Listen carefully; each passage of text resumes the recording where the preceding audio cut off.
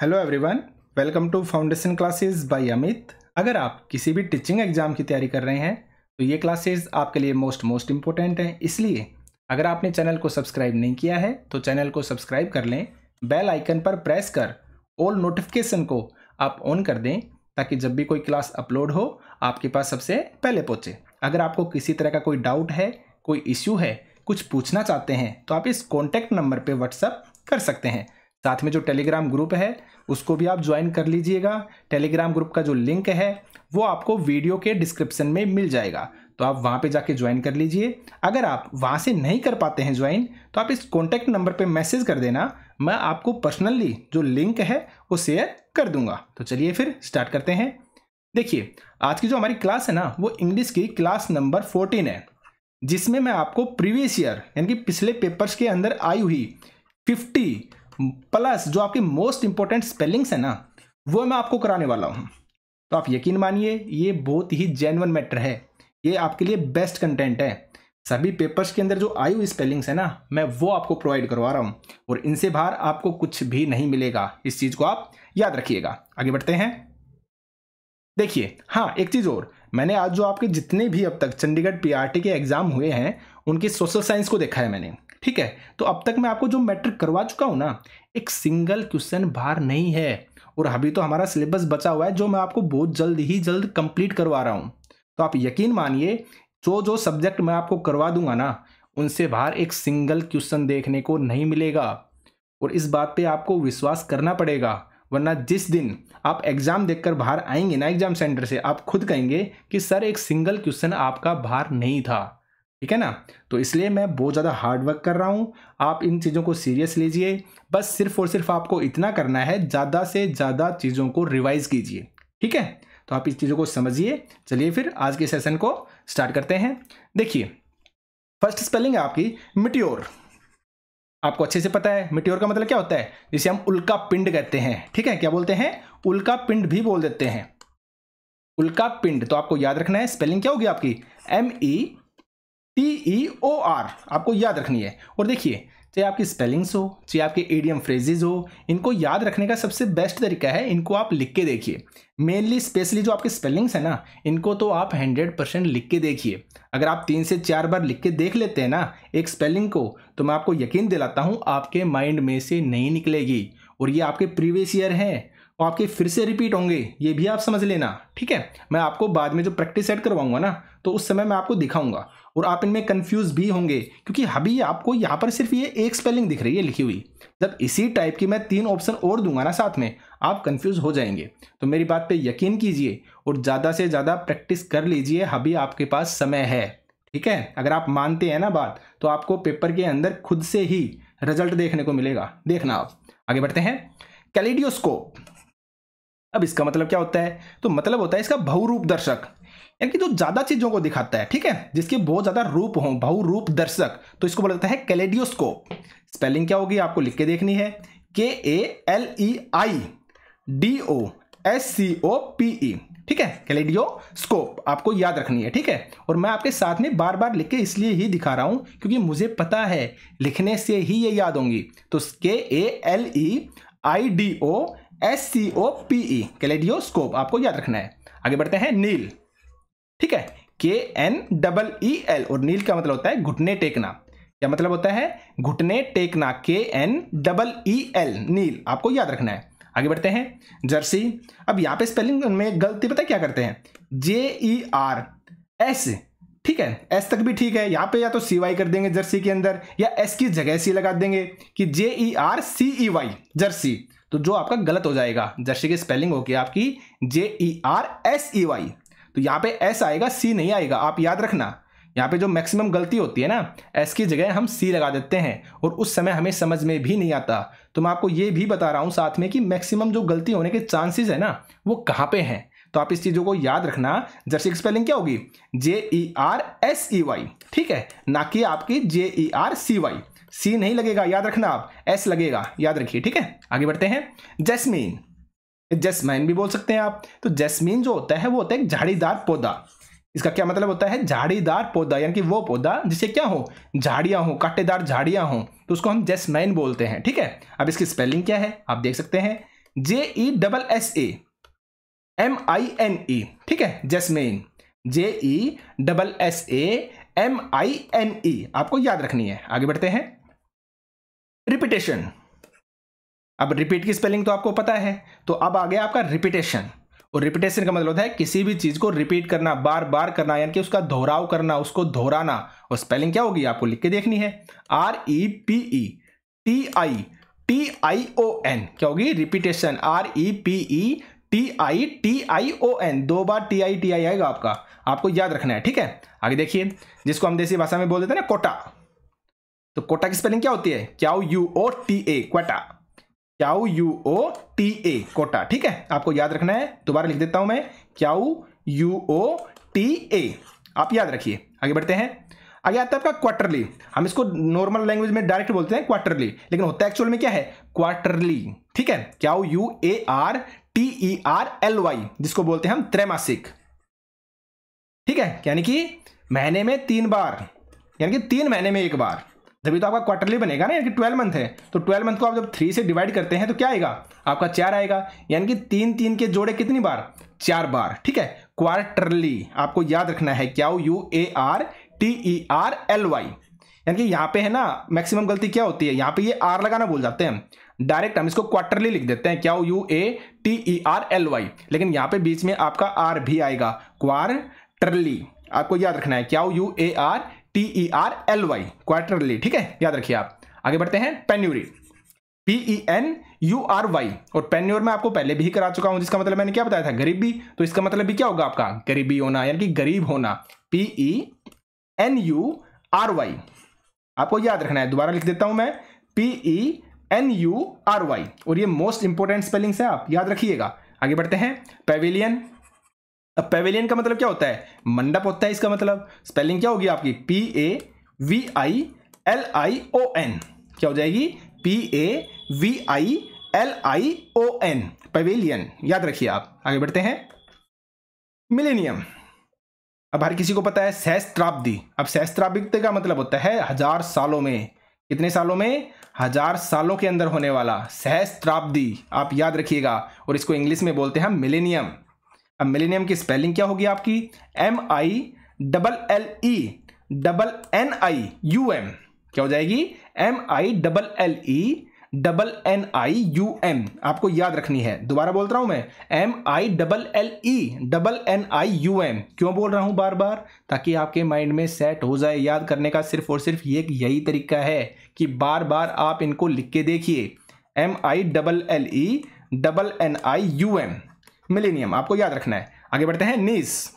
यानी कि भतीजी, आपको अच्छे से पता है तो आपको स्पेलिंग्स भी याद रखनी है कि एन आई ई सी ई याद रखिए आप। एन आई ई सी ई नीस, आपको याद रखना है। आगे बढ़ते हैं वोकेबलरी तो जो वोकेबलरी होती है, उसका मतलब होता है शब्दावली। आपको अच्छे से पता है, आप इंग्लिश के अंदर पढ़ते भी हैं वोकेबलरी तो इसकी जो स्पेलिंग क्या हो जाएगी आपकी?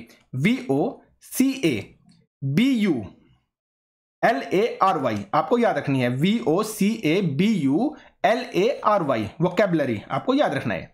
आगे बढ़ते हैं विनेगर और विनेगर का मतलब होता है सिरका, जिसको हम एसेटिक एसिड भी बोल देते हैं। क्या बोलते हैं? एसेटिक एसिड ठीक है? इसको बोलते हैं विनेगर स्पेलिंग क्या होगी? V I N E G A R आपको याद रखनी है। V I N E G A R vinegar आपको याद रखनी है, ठीक है? आगे बढ़ते हैं ट्रैंक्वेलिटी जो ट्रैंक्विलिटी होती है ना, उसका मतलब होता है शांति।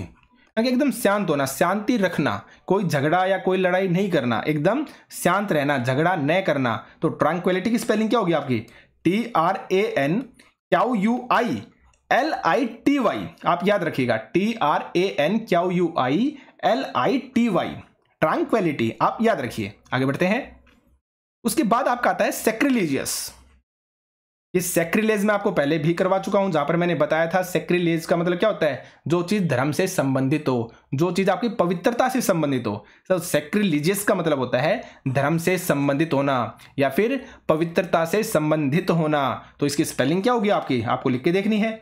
S A C R I S A C R I L E G I O U S और इसको बार बार आप लिख के देखना मोस्ट इंपोर्टेंट है ये। पता नहीं कितनी बार पूछी जा चुकी है एग्ज़ाम के अंदर। तो S A C R I L E G I O U S sacrilegious आप याद रखिएगा।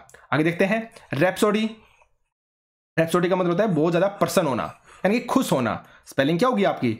R H A P S O D Y rhapsody याद रखिए आप। R H A P S O D Y rhapsody ठीक है? आगे बढ़ते हैं। सीज ये शायद मैं आपको पहले भी करवा चुका हूँ, लेकिन मोस्ट इंपॉर्टेंट है, इसलिए मैंने दोबारा से इसको रिपीट कर दिया है और प्रीवियस ईयर में काफ़ी बार आपका पूछा जा चुका है। तो सीज का मतलब क्या होता है? एस आई ई जी ई ये किस स्पेलिंग होगी? एस आई ई जी ई जब हम पढ़ते हैं ना सीज को तो हमें हमेशा एस ई निकलेगा।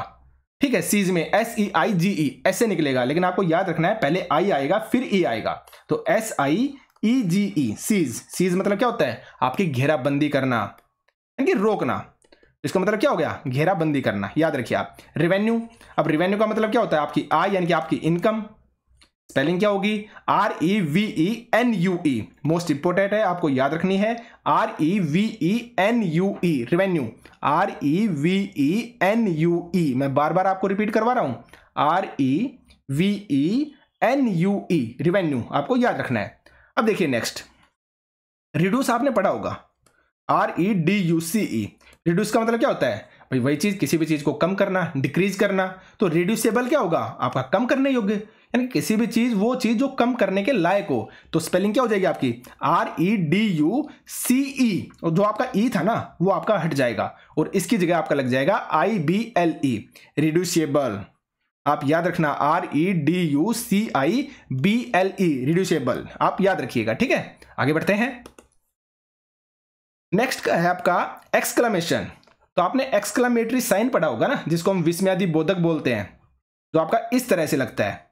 हिंदी के अंदर कैसे लगता है विस्मयादि बोधक चिन्ह? आपका इस तरीके से, जो आपका हे, ओ, अरे, उनके बाद लगाते हैं हम, जैसे लिखते हैं ना हे, ओ, अरे तो इन सब के बाद हम विस्मयादि बोधक लगाते हैं। अगर आपको पता हो तो हिंदी में कराऊँगा आपको इतनी बेस्ट कराऊँगा, देखना आप। ठीक है? अभी मैं कुछ प्लानिंग कर रहा हूँ, दो से तीन दिन में आपको पता चल जाएगा। तो आपके लिए बेस्ट चीज़ें मैं लेकर आने वाला हूँ। याद रखिए, और बहुत जल्दी आपका सिलेबस भी खत्म होगा, और सारी चीज़ें बेस्ट तरीके से होंगी, ठीक है? आगे बढ़ते हैं। अब बात करते हैं एक्सप्लेनेशन की। ये तो आपका एक्सक्लामेशन था। तो एक्सक्लेमेशन की आप स्पेलिंग को याद रखना भाई। E X C L A M A T I O N E X C L A M A T I O N exclamation यानी कि विस्मय आदि बोधक। याद रखिएगा। अब बात करते हैं एक्सप्लेनेशन की। तो एक्सप्लेनेशन का मतलब आपको अच्छे से पता है कि किसी भी चीज़ को क्या करना एक्सप्लेन करना, है ना? तो एक्सप्लेनेशन क्या होगा? यानी कि स्पष्टीकरण देना। अब उसके अंदर हम करते क्या है? तो स्पेलिंग को देखिए आप। E X P L A N A T I O N और आपको ये स्पेलिंग याद रखनी है इंपॉर्टेंट है बार बार लिख के भी देखनी है। Explanation E X P L A N A T I O N E X P L A N A T I O N E X P L A N A T I O N बार बार बोल के देखिए, आपको hundred percent याद हो जाएगी इतनी अच्छी याद हो जाएगी कि माइंड में से नहीं निकलेगी। ठीक है? तो इसी तरीके से आपको याद करना है। आगे बढ़ते हैं। अकेस्टेसी अब इसके अंदर जो हम गलती करते हैं ना, यहाँ पे हम एस की जगह सी लगा देते हैं। इसके अंदर ये गलती होती है। और एक्सटेसी का मतलब होता है परमानंद। यानी कि बहुत ही ज़्यादा क्या ना, आनंद आना, आप बहुत ज़्यादा मोहित हो, बहुत ज़्यादा खुश हो आप।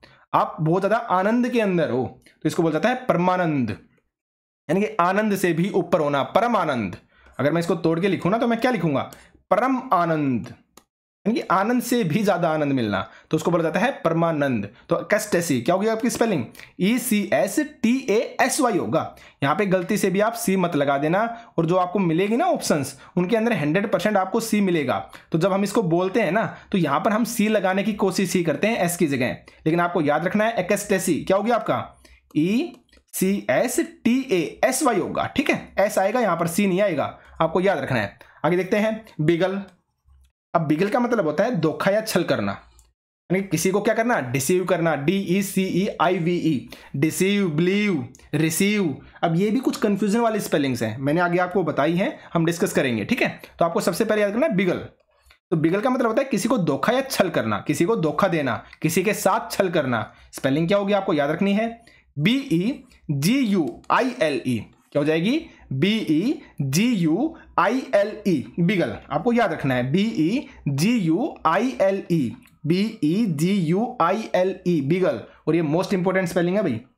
काफ़ी बार आपकी पूछी जा चुकी है तो याद रखना है। आगे बात करते हैं सीक्रेसी की।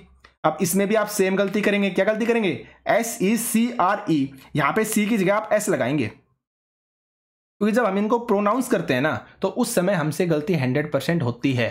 यहाँ पे सी की जगह हमेशा एस लगाने की ही कोशिश करते हैं, या फिर हम कंफ्यूज होते हैं, तुक्का लगाते हैं। तो आपके तुक्के लगाने की ज़रूरत ना पड़े, इसलिए मैं हर एक बेस्ट जो स्पेलिंग है ना, जो आपसे पूछी जा सकती है, जो प्रीवियस ईयर है, वो मैं आपके लिए लेके आता हूँ। तो सीक्रेसी क्या होगा आपका? एस ई सी आर ई और साथ में क्या हो जाएगा? सी वाई एस नहीं आएगा, इसमें सी आएगा सीक्रेसी के अंदर। मैं लिख देता हूँ ऊपर दोबारा। S E C R E C Y secrecy यानी कि सी आपको याद रखना है एस नहीं आएगा सी आएगा। S E C R E C Y S E C R E C Y S E C R E C Y S E C R E C Y याद रखिएगा। आगे बढ़ते हैं। सिंसियर अब sincere हम बोल देते ना, ये व्यक्ति क्या है? सिंसियर है। तो सिंसियर का यहाँ पे जो मतलब लिया गया है, वो मतलब होता है ईमानदार होना। तो स्पेलिंग आपको याद रखनी है। S I N C E R E क्या होगी? Sincere S I N C E R E आप याद रखिएगा। अब बात करते हैं टैरिफ की। टैरिफ। अब यहाँ पे जो गलती होगी ना, हमसे वो ये होगी T A R I F सिर्फ़ हम एक एफ़ लगा के रुक जाएँगे।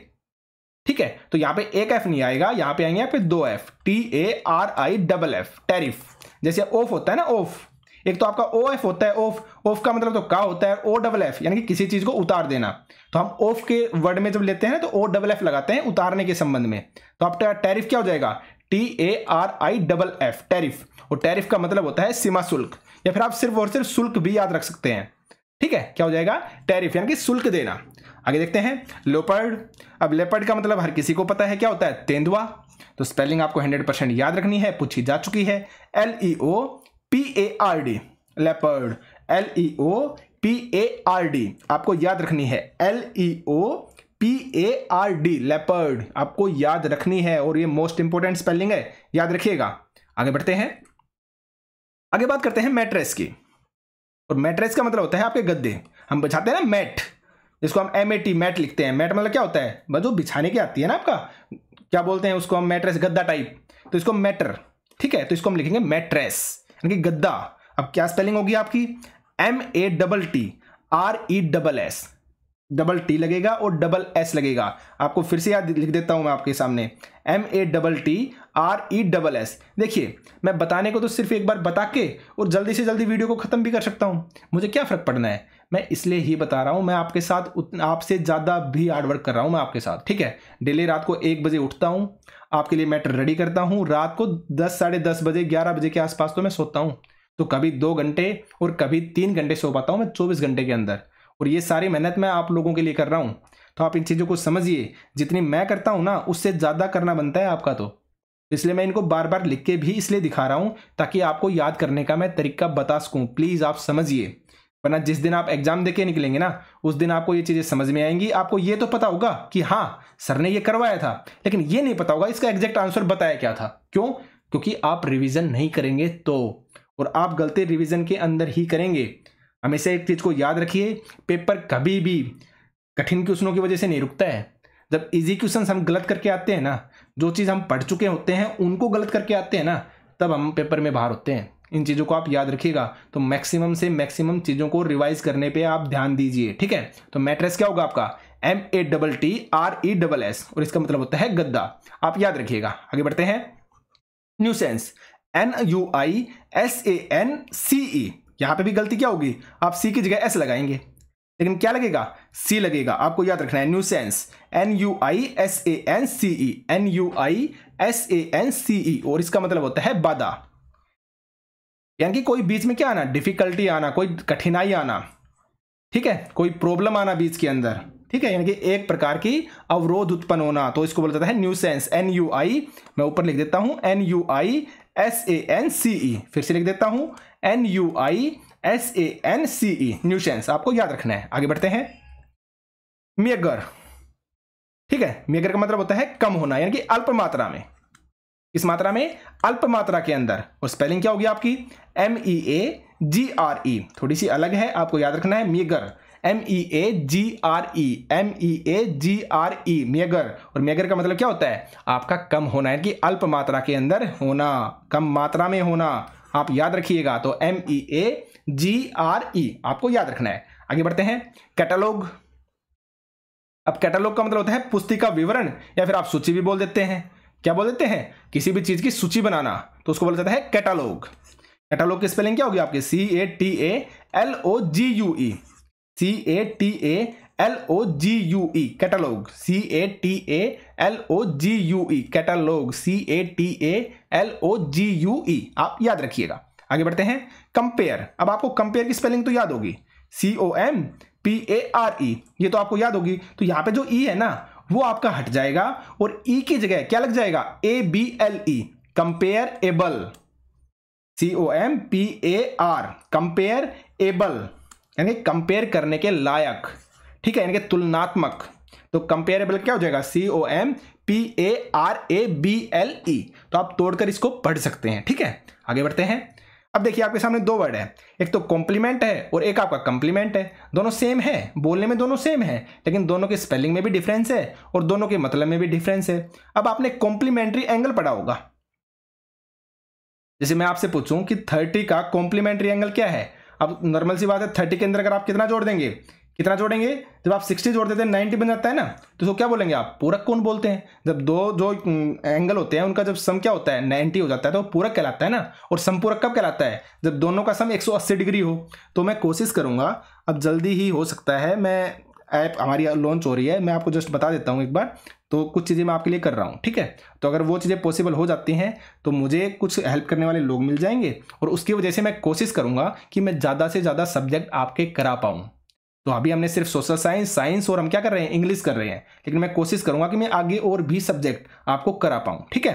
तो देखिए, यहाँ पे कॉम्प्लीमेंट है। तो इसका मतलब होता है पूरक।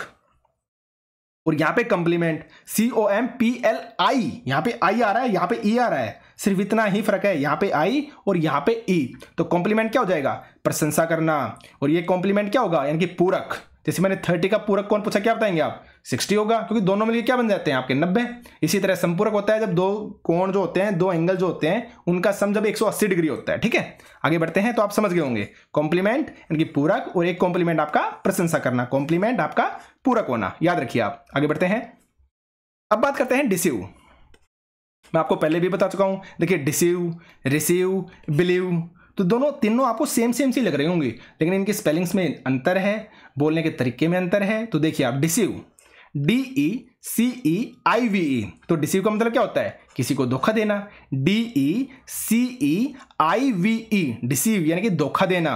और एक होता है आपका receive R E C E I V E और रिसीव का मतलब होता है प्राप्त करना। किसी भी चीज़ को पाना, प्राप्त करना receive R E C E I V E receive प्राप्त करना deceive D E C E I V E deceive मतलब धोखा देना।